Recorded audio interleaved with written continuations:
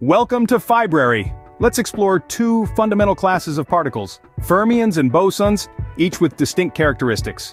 Fermions, with their half-integer spin values like half or three-half, are the building blocks of matter.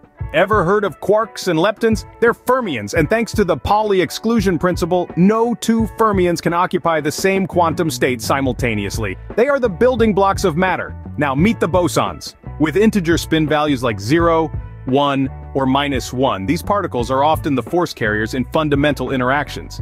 You've probably heard of the famous Higgs boson, right? That's a boson.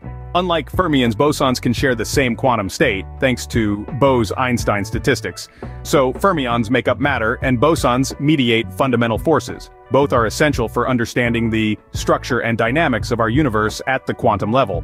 And that, my friends, is a quick dive into the fascinating world of particle physics. Subscribe to Phybrary for more such content.